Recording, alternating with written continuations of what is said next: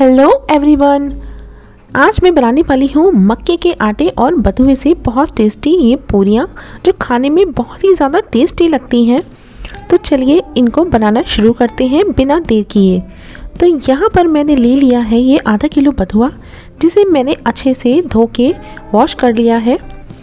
और इसको हम एक साइड में रख देते हैं।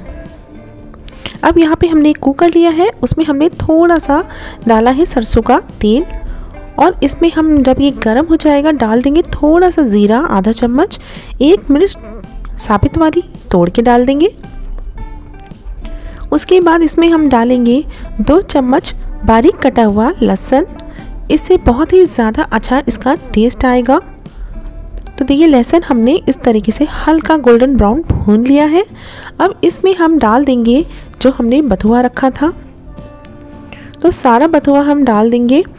और उसको हम, उसमें थोड़ा सा नमक डाल देंगे हम ताकि इसमें टेस्ट भी आए और इसको अच्छे से मिला लेंगे। और अब हम इसमें लगा लेंगे एक सीटी। तो देखिए यहाँ पे एक सीटी आ, अब मैं यहाँ पे कुकर खोल रही हूँ। तो देखिए यहाँ पे बतवा हमारा जो अच्छा सा गल चुका है और इसमें ये जो पानी है, इसको भी हमें वेस्ट नहीं करना है, इसको भी हम यूज़ करेंगे। तो चलिए अब यहाँ पे मैंने एक ले लिया है मिक्स आ, मिक्सिंग बॉल और उसमें मैंने डाल दिया है एक कटोरी गेहूँ का नॉर्मल आटा और एक चम्मच मैंने एक सॉरी एक कटोरी ही मैंने डाला है इसमें मक्के का आटा। थोड़ा सा ज़ीरा जाएगा थोड़ी सी एजवाइन हाथों से क्रश करके डालेंगे और आधा चम्मच मैंने यहाँ पे लिया है साबुत धनिया जिसका टेस्ट बहुत अच्छा जाएगा। एक मिर्च थोड़ी सी तोड़ के डाल देंगे। अब इसमें जाएगी थोड़ी सी कुटी मिर्च हल्दी और नमक।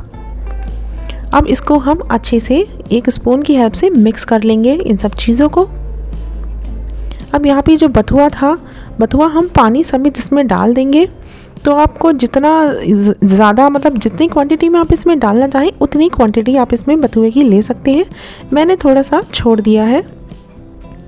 तो अभी ये गर्म था, इसलिए मैंने एक स्पून से इसे मैश इसे मिक्स कर लिया था। अब हाथों की हेल्प से हम इसका एक अच्छा सा डो लगा के रेडी करेंगे। तो इसका डो हमें बहुत ही ज़्यादा ना टाइट लगाना है और सॉफ्ट भी नहीं लगाना है।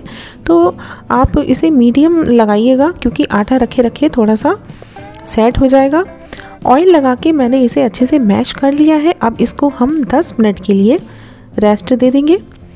तो 10 मिनट हो चुके हैं, उसके बाद इसको हम अच्छे से फिर से एक बार मैश कर लेंगे। और इसके जितने बड़े साइज़ के आपको बनाना है थोड़ा हम इसे एक ही बार में बेलेंगे उतना बड़ा आप इसका पेड़ा ले सकते हैं, आटा डस्ट कर लेंगे और इसको हम अच्छे से बेल लेंगे।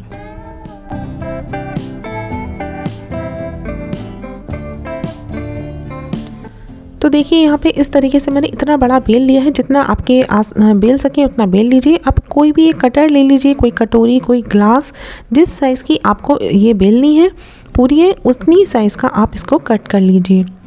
तो यहाँ पे मैंने एक बाउल लिया है, उससे देखिए कट हो चुकी है ये। अब मैं सारी पूरियाँ इसी तरीके से कट कर लेती हूँ। चलिए, अब इसको हम फ्राई कर लेते हैं। तो इसको मीडियम फ्लेम पर आप इसे इस तरीके से एक करछली की हेल्प से सेकेंगे। तो देखिए यहाँ पे फूली फूली यहाँ पे पूरियाँ बनने वाली हैं, जो खाने में बहुत ही ज़्यादा टेस्टी लगने वाली है। आप इसे किसी भी सब्ज़ी अचार, चटनी के साथ, चाय के साथ खाइए, ये बहुत ही मज़े की बनती हैं। एक बार मेरी ये रेसिपी ज़रूर ट्राई करिएगा और मुझे कमेंट बॉक्स में ज़रूर बताइएगा कि आपको ये मेरी रेसिपी कैसी लगी। क्योंकि इस टाइम सर्दियों का सीज़न है, बथुआ आ रहा है तो आप इस रेसिपी को ज़रूर ट्राई करिएगा। अगर बच्चे नहीं खाते हैं, इस तरीके से बच्चे मांग मांग के खाएँगे और आप उनको टिफ़िन में भी ये बना के दे सकते हैं। और डो आप पहले से लगा के रख लीजिए रात में और सुबह नाश्ते में या टिफ़िन बॉक्स में भी आप इसे दे सकते हैं। तो कैसी लगी मेरी ये रेसिपी आपको अच्छी लगी है तो प्लीज़ लाइक कर लीजिएगा। चैनल पे नए हैं चैनल को सब्सक्राइब ज़रूर करिएगा और बेल आइकन का बटन ज़रूर दबाइएगा। मेरी आने वाली सारी रेसिपी सबसे पहले आपको मिलेगी। Thank you